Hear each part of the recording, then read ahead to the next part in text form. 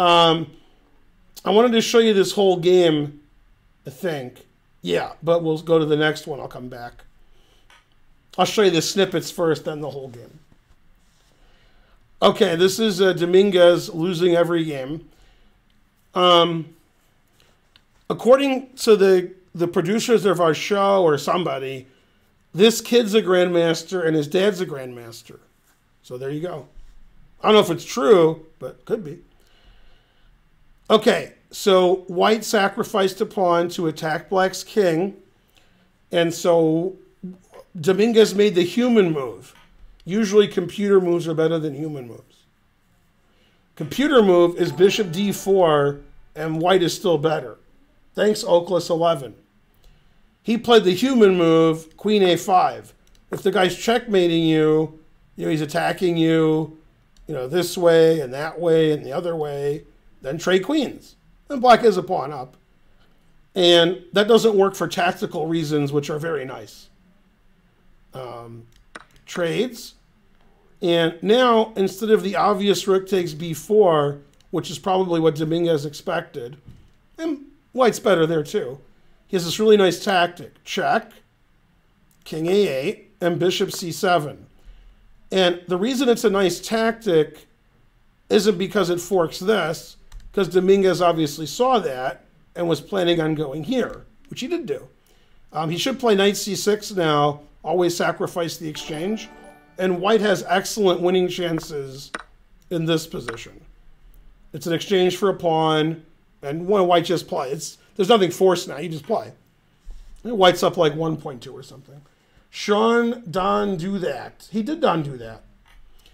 Okay, but that wasn't his intention when he traded queens. His intention was to go here. And it's funny the rook is de- the rook is defending the knight, but there's very few squares for the rook to go to. Um, if it goes here or here, there's g4. The knight is protecting these two. The rook is protecting this one. And what Danya thinks Dominguez missed this is Danya's opinion. I agree. After e4, I showed you how none of that works. You can't go, you know, this doesn't work. Probably Dominguez thought rook b5 was okay and just didn't see a4, which is weird. I mean, a4 attacks the rook and you can't take en passant. But it's still weird when you can take en passant, you just miss moves. And you, you can't defend. This, this is attacked and, and this is attacked and there's no there's nowhere to go. So I think when, when Dominguez played Queen A5, he probably saw this and thought Rook D5 and he was safe. And then after that, he thought Rook B5 and I'm safe. And then Dominguez is like, damn it, I'm not safe. So probably Dominguez, in preparing for the game, should have watched the movie Marathon Man, because obviously his opponent hasn't seen it or heard of it. He's a kid.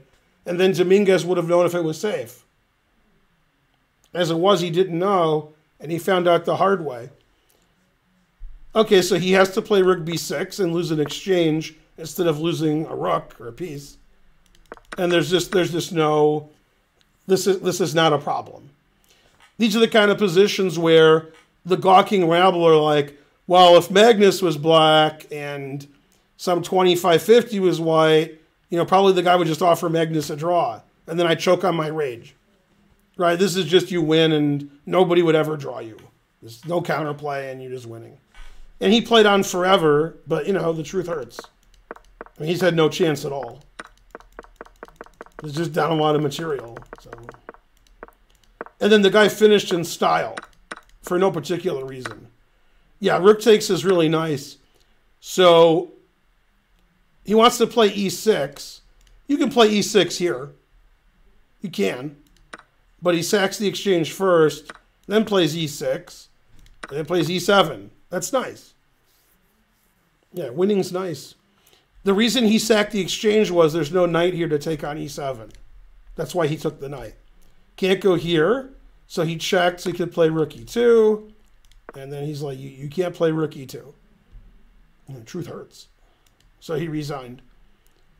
It was a nice finishing touch when it was unnecessary, but okay. Didn't matter. Um, that's right. A lot of dentist jokes. Yeah. The there, I have two funny things about the dentist from from from you know like obviously Marathon Man, but there's a Simpsons episode where Homer is sort of like tricked to go to the dentist, or maybe it goes anyway, and he's in the waiting room, and they call him in, and